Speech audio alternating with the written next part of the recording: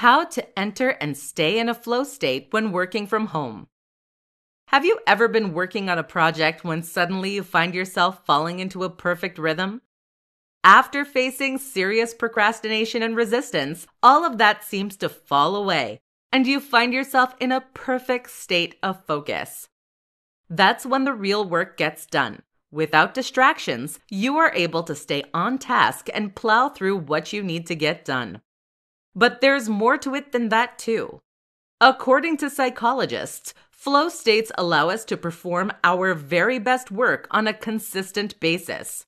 We can tap into reserves of productivity and even creativity that are normally inaccessible.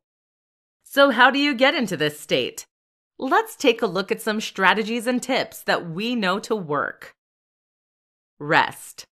The first tip is to ensure that you start the day in the best way possible. That is to say, that you shouldn't be overtired or stressed.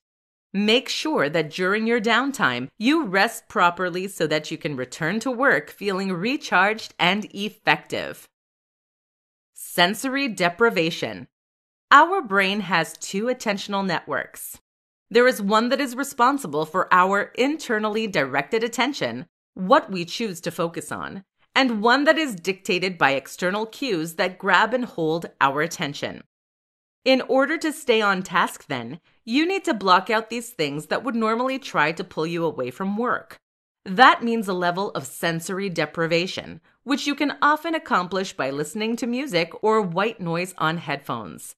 Using a large monitor can also help, as this will take up more of your field of view. Inspiration. What many people don't realize is that their productivity is determined more so by their emotion than by logic. In other words, you will find it easiest to be productive when you actually feel interested in and excited by the work that you're required to do. A great tip is to look at examples of the kind of work you intend to do in order to see how it looks best. Just start. Finally, a last tip is to simply start doing whatever it is you need to do. Don't worry if you don't feel inspiration right away, or if you find yourself resisting your need to work.